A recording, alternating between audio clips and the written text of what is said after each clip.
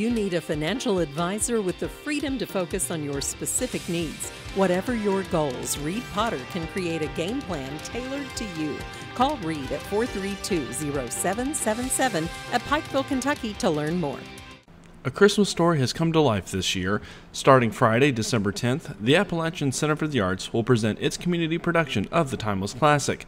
Friday, we spoke with the app's Eric Buckley about the show we are uh, super excited, and as you can probably see, uh, it looks like I'm living, sitting in a living room.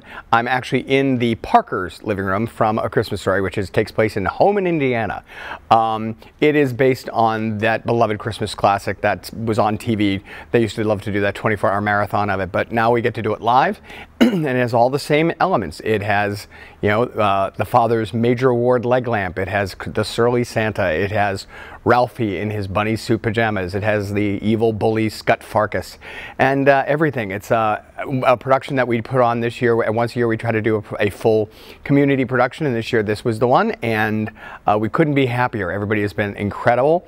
Uh, the energy and professionalism that they've brought to it has been remarkable. The show is so funny, so sweet, so heartwarming. The kids are wonderful, and also the, the adults are pretty good. so we're super excited about that. For tickets or for more information, you can visit theapps.org.